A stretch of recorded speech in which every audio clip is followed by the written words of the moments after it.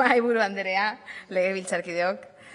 Desde el Carrequín Podemos hemos impulsado esta iniciativa parlamentaria porque estamos preocupadas y, por lo tanto, entendemos que debemos ocuparnos en contribuir a que las políticas de empleo sean una herramienta efectiva de integración y cohesión social para todas las personas, también para el colectivo de personas con diversidad funcional.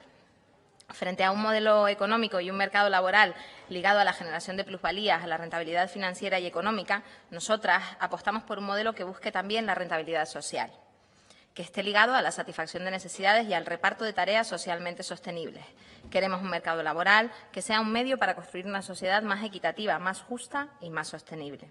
Para ello, debemos preguntarnos qué necesidades tenemos que satisfacer para todas las personas, qué nuevo modelo productivo, limpio sin duda, puede dar respuesta a estas necesidades y qué empleos son socialmente deseables, además de cuánto y cómo se reparte ese empleo con criterios de justicia social y poniendo siempre la vida y a las personas en el centro. Sin embargo, estamos ante una realidad en la que el empleo tiene unas condiciones cada vez más precarias. Lejos de ser un factor de inclusión, nos encontramos con temporalidad, inseguridad, aumento de los accidentes laborales, incumplimiento de derechos y hasta persecución de la reivindicación por la defensa de los mismos. Este contexto de precarización generalizada del empleo está siendo especialmente complicado para sectores de la población que histórica y estructuralmente el mercado laboral ha excluido y precarizado. Ninguna política es neutral. Reiteramos y recordamos, las políticas de desarrollo económico tampoco lo son. El crecimiento económico y la creación de puestos de trabajo por sí solos no son universales, no son sinónimo de equidad ni de justicia social. Muy al contrario, pueden generar y profundizar brechas de desigualdad. Por todo ello, el tiempo de definición de presupuestos, de diseño y evaluación de estrategias, de planes, de proyectos de ley, hacemos un llamado de atención, ponemos luces, focos y alertas e insistimos en la idea de justicia social y accesibilidad para todas. En, en, todas las políticas administrativas, legislativas, educativas, económicas, sanitarias, culturales, en todas. Hay que incorporar necesariamente la accesibilidad de la población. Para que las políticas sean realmente universales, equitativas, redistributivas, no hay magia ni fenómenos naturales que lo resuelvan. Somos nosotras, bueno, más bien ustedes desde el Gobierno, quienes deben diseñar y brindar políticas para toda la ciudadanía, lo que requiere, a nuestro juicio, destinar recursos a políticas que corrijan las desigualdades de acceso que experimenta parte de la población. Hay que destapar y visibilizar las diferencias por edad, por sexo, por identidad de género, territorio, origen, diversidad funcional y llevar adelante las medidas necesarias para que estas diferencias no se conviertan en desigualdades. Redoblamos esfuerzos para impulsar iniciativas que reviertan y contrarresten y por eso apostamos con esta propuesta por el empleo ordinario también para las personas con diversidad funcional. Desde el Carrequín Podemos, a través de esta iniciativa, en esta ocasión, hemos querido poner la lupa en las condiciones del mercado laboral que están excluyendo a ciudadanas y ciudadanos con diversidad funcional. Recibimos y agradecemos enormemente los aportes que hoy traemos en forma de enmienda transaccional, tanto de la Confederación Coordinadora de Personas con Discapacidad Física, el CARTEAN, así como los de el AVE, Euskal Herriko Lan Babestuaren, el CARTEA. Sin duda, ambos han enriquecido y mejorado nuestra propuesta inicial y creemos que nos han impulsado a acordar una buena base para potenciar un mayor y mejor acceso de las personas con diversidad funcional al empleo. En esta misma línea celebramos la buena disposición al diálogo e intercambio de todos los grupos y el acuerdo unánime al que vamos a llegar en esta Cámara. El punto de partida es claro. Acordamos que tanto las instituciones y empresas públicas como las privadas tienen mucho por hacer para cumplir con las obligaciones y compromisos que establece la normativa internacional, nacional y autonómica porque a día de hoy no se está garantizando el acceso al derecho al empleo de todas las personas, a un empleo ordinario, al autoempleo, al empleo público. Y eso lo sabemos porque, por ejemplo, en algunos datos que nos facilita el CARTEAN, nos comentan que el 7% de las ayudas al empleo para personas con diversidad funcional son para, solo el 7% son para fomentar el empleo ordinario. Pero aparte, por ejemplo, la Fundación ONCE nos cuenta que la mayor parte de los contratos de personas con diversidad funcional son contratos temporales y que del 26,6% de personas que están empleadas, el 24,4% lo está a través de fórmulas de empleo protegido. Son muy pocas las que acceden al empleo ordinario, aunque es verdad que para afirmar esto con rotundidad necesitaríamos más y mejores datos, pero eso irá viniendo. Nosotras entendemos, sin quitar valor a las políticas impulsadas hasta el momento, que éstas han estado orientadas a la, generación de empleo protegido, pero no han logrado crear en la misma medida empleo ordinario que brinde oportunidades a las personas capacitadas y preparadas para asumirlo. Y por eso traemos hoy esta propuesta.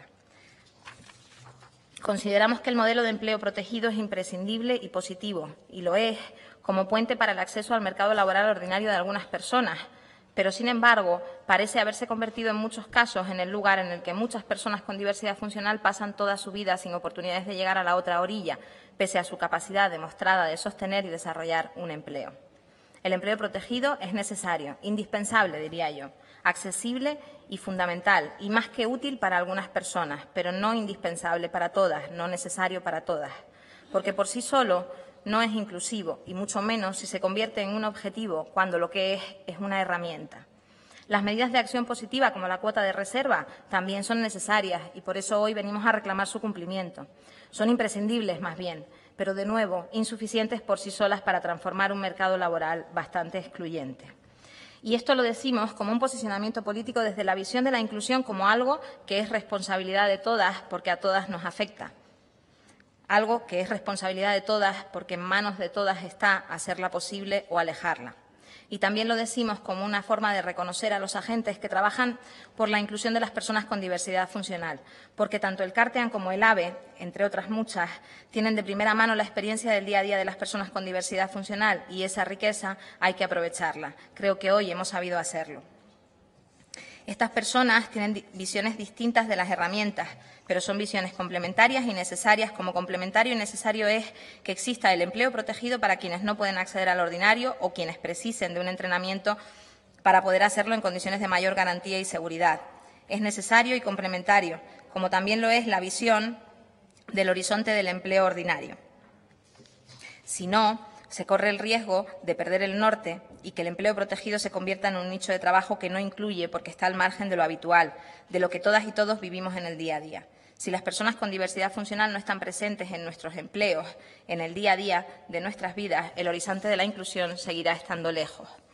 Para avanzar, hoy aprobamos una proposición sobre la mano que nos tendió el Carteán, que nos comentaba que para que las personas con diversidad funcional ejerzan sus derechos, sin duda se requiere incorporar otros elementos, otras actuaciones y otros compromisos. Y por ello aprobamos estas nueve medidas.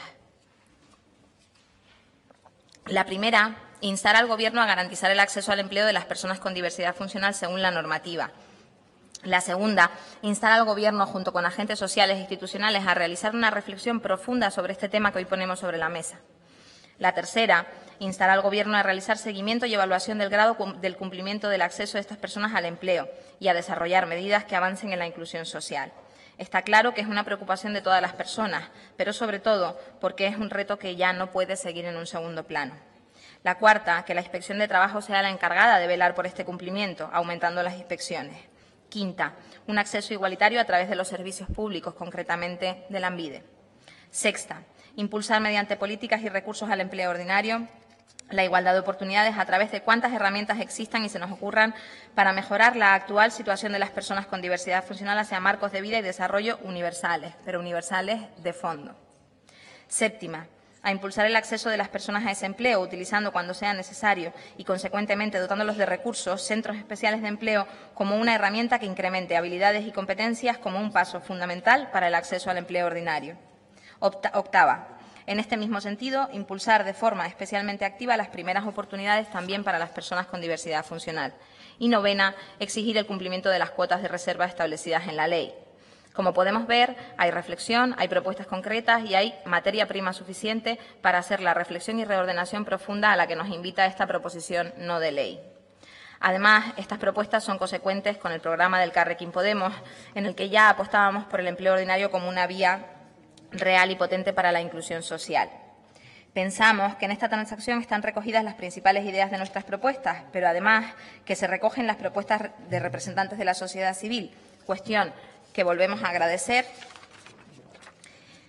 y que esperamos sirva para continuar profundizando en este trabajo.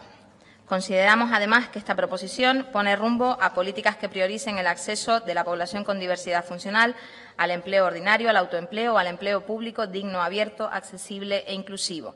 Esperamos y solicitamos que este acuerdo sea una plataforma y que la voluntad política y los recursos sean asumidos con un liderazgo claro desde el Gobierno vasco. Eta akordio honetara iristeko, talde guztiok egin dugun esfortzua eta eskusa, eskusa baltasuna berriro ere azpimarratu nahi dut. Merezi du, benetan, naiz eta negoziazio neketsua izan, diversitate funtzionala duten pertsonen ahotsa entzun eta aintzat hartu dugulako bai eta pertsona askoren onuran izango delakoan ziur gaudelako. Eta berriro ere, esan beharra dago, inklusioa, letra larriz, ez da diversitate, diversitate funtzionala duten pertsonen ardura bakarrik, gizarte osoaren ardura baizik. Aukera berdintasuna eta erabateko herritartasuna pertsona guztien eskubide direlako.